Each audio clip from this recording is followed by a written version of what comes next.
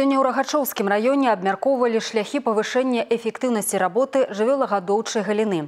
На абласную нараду запрасілі кіраўнікоў усіх раёнаў і іх намеснікаў, якія адказваюць за работу АПК.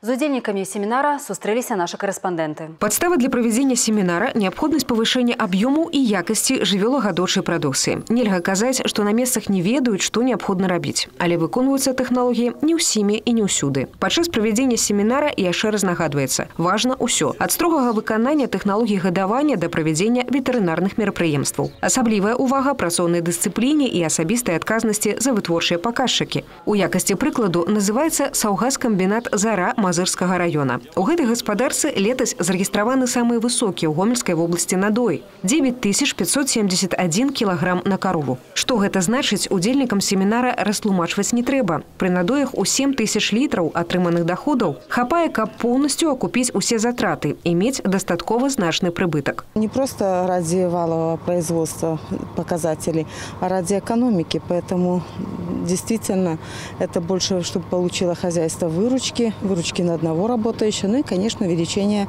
заработной платы. Поэтому сегодня, если в целом говорить о Мозырском районе, то у нас за последний месяц 930 рублей среднемесячная заработная плата в сельском хозяйстве составила. Если по заре, то это более 1300 рублей на одного работающего. Яшчэ одна складаючая якасць кармоў. Дробязяў няма.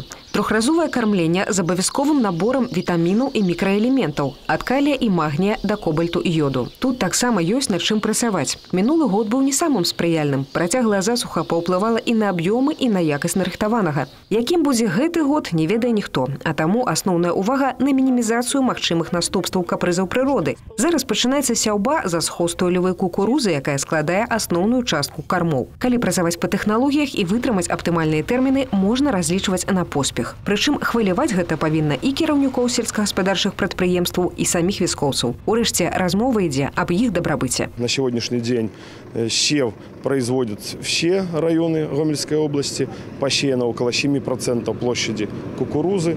Ежедневно э, в сельскохозяйственных предприятиях эта работа э, ну, идет с более высокими темпами, с каждому дню прирастаем. Ну, необходимо выходить на 12-13 тысяч гектар сева кукурузы ежедневно. Олег Сенцюров, Ольга Коновалова, Сергей Лукашук, телерадиокомпания «Гомель», Рогачевский район.